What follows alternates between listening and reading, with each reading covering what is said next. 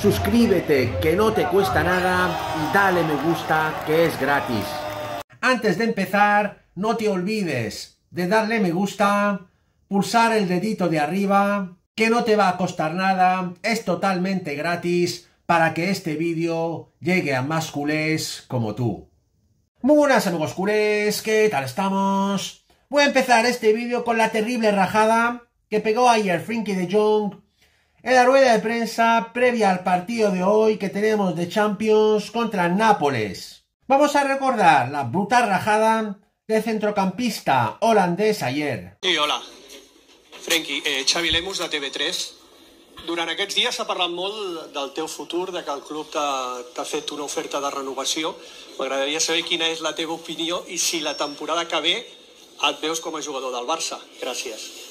Hola, buenas. Uh, la verdad es que la verdad es que últimamente me estoy irritando un poco, estoy un poco cabreado incluso con lo que escribe vosotros, uh, la prensa en general, que salen muchas cosas que no son verdad, que es que no lo puedo entender tampoco, que algunos de vosotros van, van diciendo cosas que no son verdad, que son mentira y que no os da como un poco de vergüenza decirlo y no, eso es, me estoy, me está irritando un poco.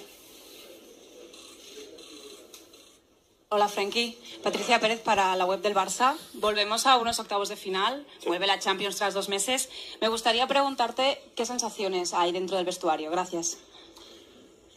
Uh, estamos con mucha ilusión porque es un partido en octavos de Champions que hace, hace un par de años que no hemos estado en, en esta fase. Entonces con, con, mucha ilusión y ganas de, de jugar. Marta. Hola, Frenkie, Marta Ramon, de RAC1. Eh, dius que estàs irritat, que estàs cabrejat. Què és el que més t'enfada del que has llegit i, i si et veus molts més anys aquí al Barça, si realment eh, acceptaràs aquesta oferta de renovació del club. Yo, es que la verdad, por ejemplo, estáis hablando mucho de mi contrato, de mi situación, que salario y tal, y también es mucho humo, mucho mentira. Es que estoy cobrando como 40 y tal, pero la verdad es que esto es muy lejos de lo que realmente cobro. No voy a decir cifras ni nada, pero es que se han inventado un, una historia que, que, no es verdad. Y um, es que estoy muy, muy feliz en el Barça, siempre lo he dicho, es que es el club de mis sueños. Entonces, uh, espero que, que puedo seguir muchos años aquí jugando en, en el Barça. Bernat. Bona tarda, Frenkie. Bernat Soler, Catalunya Ràdio. Eh, tu entens que aquestes informacions poden sortir de dins del club? Que no se les inventa la, la premsa? Tu creus que això pot ser així? Eso es que no lo puedo decir porque no tengo, no tengo información de eso, pero espero que no. Um, yo sé que muchas cosas se, se, inventan, eso sí lo sé porque escribáis cosas que no son verdad, porque yo lo sé, porque soy la persona de lo que estáis hablando. Y creo que lo, estáis haciendo en general con, con mucha gente, muchos jugadores, entrenadores incluso, y yo creo que no tengo la sensación que os vais que os va que va a cambiar eso pero yo creo que tenéis que cambiar eso porque no podéis ir y escribir cosas que no son verdades estáis inventando cosas que realmente no, no están Paul Bayús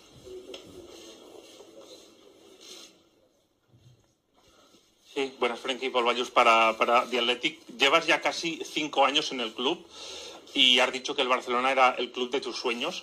En estos cinco años te ha sorprendido un poco ver cómo funcionan todas estas cosas que comentabas, ¿no? Que te ha irritado la, las informaciones, ver cómo funciona todo el club. No, creo que el club, yo considero el club como mis compañeros, los jugadores de día a día, el vestuario, la gente con, con que yo trabajo, el staff y todo eso. Y esto es de maravilla, es de, es de 10, es que es que lo estoy disfrutando mucho. La prensa, a lo mejor, quiero decir que si hay una opinión de alguien que yo juego mal, no estoy en mi uh, mejor momento, o Frenkie no tiene nivel para Barça, o esto, eso da igual, porque cada uno puede tener su opinión, ¿no? Pero es que las mentiras yo creo que realmente tenéis que cambiar eso.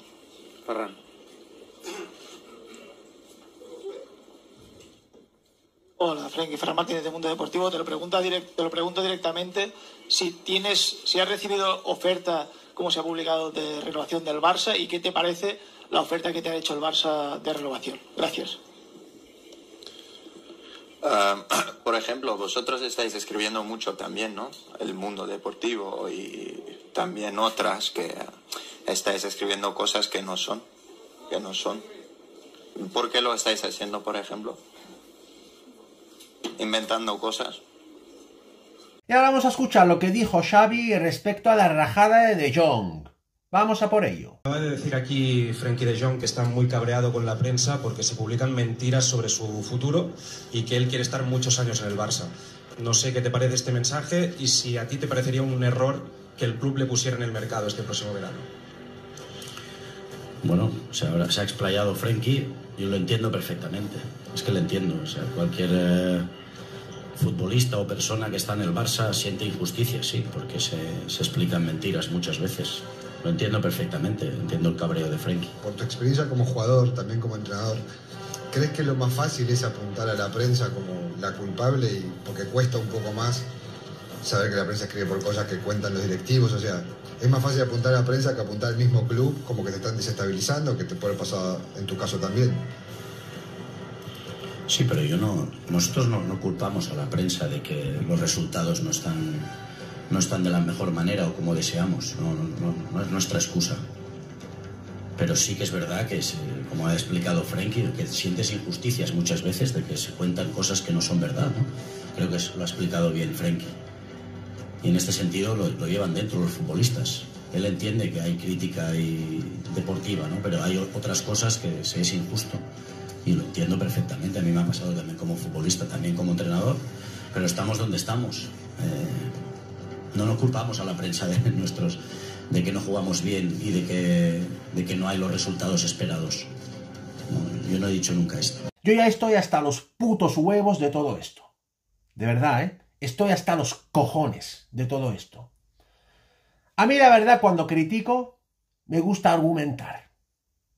¿Sabéis cuántos goles? Que lo voy a ver ahora mismo. ¿Cuántos goles lleva Frankie de Jong en los cinco años que lleva jugando en el Barcelona?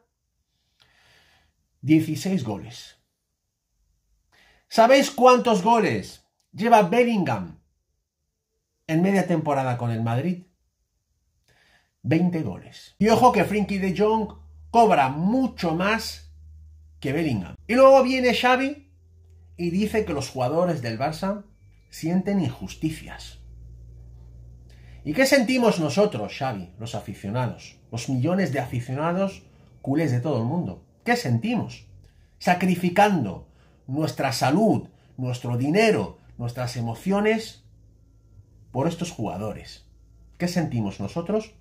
Cuando vemos a estos jugadores haciendo ridículo año tras año en Champions, desde el 2016, con las fichas más altas de Europa, el Barça, actualmente a día de hoy, los jugadores del Barça a día de hoy, mejor dicho, son los jugadores que más cobran de toda Europa, ¿qué sentimos nosotros, Xavi? Si estos pobrecitos jugadores sienten injusticias ahora. No estamos clasificados ni para el Mundial de Clubs. El Atlético de Madrid nos saca siete puntos en la, clasificación del nuevo Mundial de Clubs que se va a jugar en 2025 y que se juega millones y millones y el Barça no está clasificado aún. El Atlético de Madrid le saca 7 puntos. Por culpa vuestra, Xavi. ¿Eh? Que lleváis haciendo ridículo 8 años en Europa. Y tú también. Llevas haciendo ridículo en Europa desde que llegaste, salvo este año, porque nos ha tocado el grupo más fácil de la Champions. Desde que estás entrenando al Barcelona, el press y la directiva gastó 260 millones en fichajes. Y esta temporada, aparte de hacer ridículo, dos años y medio en Europa, esta temporada está todo perdido. Salvo la Champions, a ver qué pasa hoy. Y te vienes, Xavi, y te ríes en nuestras caras y dices que los jugadores sienten injusticias. ¿Por qué no pensáis en los aficionados? ¿Por qué? Si vosotros estáis ahí gracias a nosotros, ¿por qué pensáis solo en vuestros culos y mandáis a los aficionados a la mierda? En fin, a mí me suena todo esto a otra excusa de Xavi y los suyos si en Nápoles nos pinta la cara hoy, esta tarde en la Champions. Ahí lo dejo. Y ahora sigamos con el temazo principal, bombazo de última hora, duro golpe al Real Madrid. El Barça está a un paso de cerrar el fichaje de uno de los cracks más deseados de Florentino Pérez. Las negociaciones en estos momentos del Barça con el agente de este crack están muy avanzadas y el club blaugrana podría cerrar su fichaje en cuestión de pocas semanas. Se trata de nada más y nada menos, atención, del posiblemente mejor lateral izquierdo del mundo, de tan solo 23 años de edad, el canadiense del Bayern, Alfonso Davis. De hecho, fuentes muy importantes y cercanas al club aseguran que el Barça va a vender a Alejandro Valde para cerrar el fichaje del crack canadiense. Estaremos atentos a los acontecimientos. Esta ha sido mi grandísima noticia de hoy, amigos culés. No os olvidéis suscribirse a mi canal, que no os cuesta nada. Pulsar un like como siempre y dejarme comentarios para cambiar opiniones. Muchas gracias. Forza Barça por siempre, vamos a por todas. Y nos vemos muy pronto en mi próximo vídeo. ¡Vamos!